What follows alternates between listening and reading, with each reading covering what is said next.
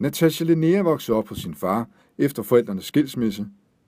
De to har stadig et helt særligt bånd og bor i dag lige ved siden af hinanden. Men de mangler en person i familien. En, som de har et stort ønske om at finde. Jeg har ikke selv set min mor, siden jeg var to år gammel.